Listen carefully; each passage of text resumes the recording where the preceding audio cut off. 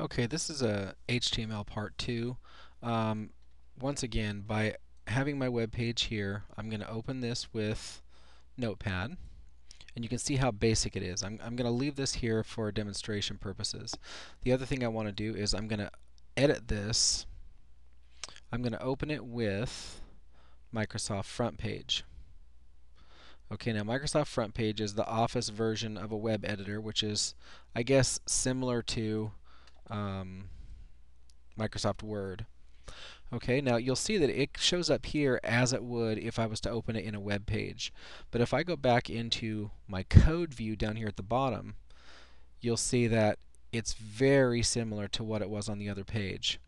Now, the problem is with Microsoft front page, once you start playing around with things, it'll add on its own stuff. Um, so for example, I'm going to go back to design and I'm going to say, okay, I don't want this to be centered anymore. I'm going to click on it, and then usually you have these buttons up here that I want to left it, left left align it. Um, I can select something here, and I want to maybe make the font bigger, um, or I can do Control B to make it bold. I mean, it's real simple. Um, I can delete it. You know, it works just like Microsoft Word. Okay, now if I go back down to my code view, right now it still looks pretty good. You'll see that there are things that are a little bit different. Um, but I'm going to go ahead and save it. Okay, so now it's all saved. And when I go and preview, now right now if I click on stuff, you know, I can resize the picture. Um, I can go into my preview mode and I don't have the option to resize anything or to change anything, but you'll see this is actually moving. This is actually previewing the site, and the asterisk says that this is not saved yet. So I can just click on save and it'll save. So I'm going to go back to my code view and if I go into design mode you'll see that it's my picture, code view is the text or the HTML I'm sorry and split view will show me both. So sometimes programs like this are a lot nicer to work with. The other thing that's kind of cool is if I was to say go down and I wanted to add a new section here like um, I'll do On. Uh, you see, as soon as I do the start of a tag, it comes up and says, oh, what's he going to do? So if I start to put in something like a line or p align, so I forgot to do it, so you can, it's coming up automatically for me. So align, and then it wants to know what kind of a line. Okay, so you can just kind of right or whatever. So anyway, it'll kind of do these things for you. So if I do bracket center and in bracket, it automatically puts in my in center for me. Sometimes that's good and sometimes it's annoying. But I'm going to go ahead and say um, welcome aboard and leave it like that. And I'm going to go back to design. You'll see that my welcome aboard's over there centered. Preview, it all looks fine.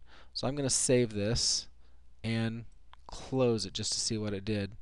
Now, if I was to open this in Internet Explorer, it opens just like it did in my page.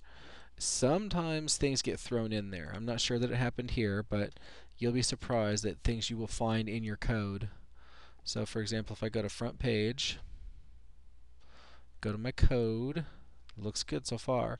Now if I do new, you notice it automatically puts in some metacode in here and um, automatically puts in new page 1 as the title. You'll see a lot of things out on the internet called new page 1. Alright, but one of the cool things about this, and I'm going to go back to design mode, is the ability to add things like tables. Um, down here there's actually a table layout option you have.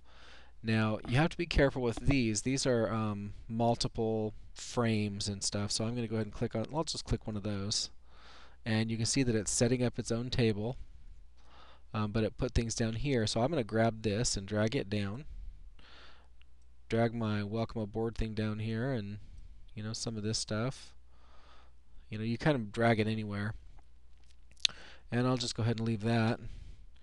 And if I was to preview this now you'll see that you don't have those lines. And that's because my table over here I never actually solidified my lines or, or made them have any weight so if I was to go over here and you know change it to width, say 2 or you know whatever, when I go out here to preview, whoops, maybe I didn't change my color.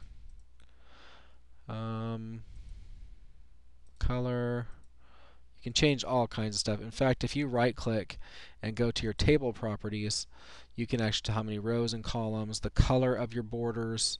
Um, you can even change your background color of your table. And you know, just get really creative. So this will be kind of the basic um, web page HTML2. Um, but you can see now that I've added some tables and stuff, things have gotten a little bit more complicated. Really, it's you know, align top. You know, this is you know table vertical align um, top, the width of the table, and um, so sometimes you start to lose the little control that you have. Uh, but it's a good program, and um, I will do a, a part three of this tutorial.